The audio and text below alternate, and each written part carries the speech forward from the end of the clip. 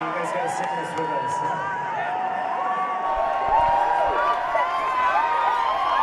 This is for Don and for Brandon, because without Don and Brandon, uh, without Don and Brandon, we would be nowhere. So uh, Don, our manager, and Brandon, who makes everything work for us. Uh, this is for you guys, and thank you guys